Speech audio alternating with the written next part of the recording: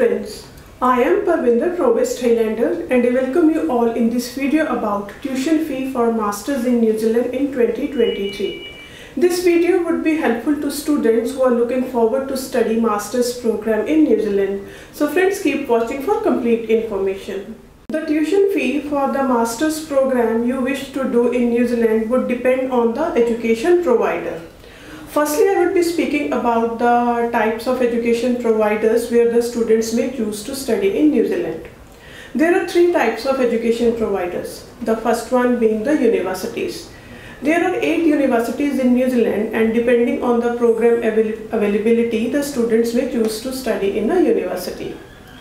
The second type of education provider is Te Pukenga, New Zealand Institute of Skills and Technology.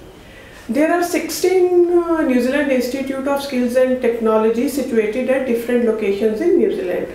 These uh, Te Pukenga New Zealand Institute of Skills and Technologies provide excellent education to students. The third one is PTE that is private training establishments. The quality of this PTE is uh, checked by NZQA that is New Zealand Qualification Authority which categorizes these PTEs into three categories the first one is category 1, category 2 and category 3. So these are the three types of education providers where the students may choose to do a master's program in New Zealand. The tuition fee for your chosen master's degree would vary depending on the institute you choose. The tuition fee in university is comparatively higher than uh, Te Pukenga, New Zealand Institute of Skills and Technologies. The tuition fee of uh, Te Pukenga New Zealand Institute of Skills and Technologies is comparatively higher than PTEs. So the tuition fee structure for all these three education providers is different. I would like to quote uh, an example here to clarify this point.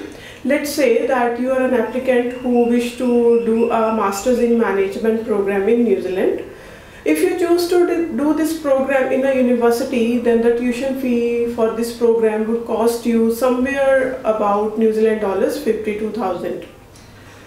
If you choose to do this program in Te Pukenga New Zealand Institute of Skills and Technology, then this tuition fee would be somewhat around 38,000 New Zealand dollars.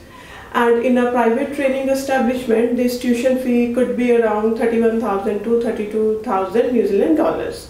So the fee for the similar program varies in these three types of institutes.